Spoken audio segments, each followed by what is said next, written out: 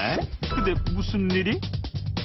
근데 분명 아까 휠도 굉장히 깨끗이 닦았는데 지금 휠이 제대로 안 닦였는데? 휠이 이상해요. 카샴푸로 열심히 닦아봤지만 여전히 남아있는 오염물.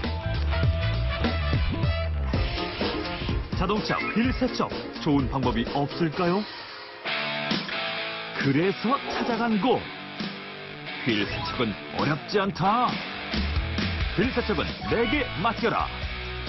자동차 휠의 전문가 박경선 씨.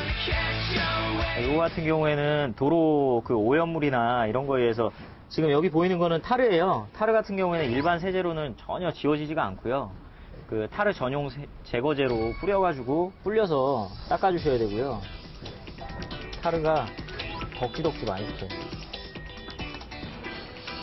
타르 전용 세정제를 뿌린 다음 마른 타월을 이용해 닦으니 타르가 말끔히 지워진 걸 확인할 수 있었습니다.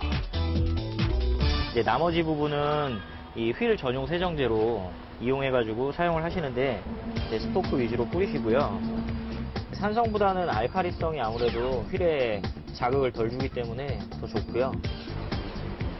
이 브러쉬를 이용을 해가지고 구석구석 닦아내주셔야 도장면 손상 없이 깨끗하게 유지를 하실 수가 있고요.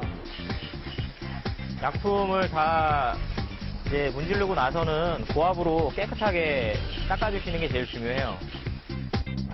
그럼 자동차 휠에 쌓인 분지는 어떻게 제거할까요?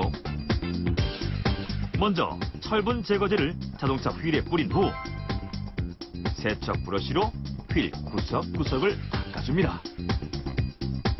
그 다음 고압수로 씻어주기만 하면 분진이 말끔히 없어집니다.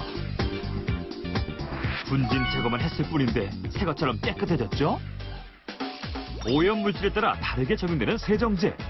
이것만 기억하면 휠 청소 어렵지 않아요.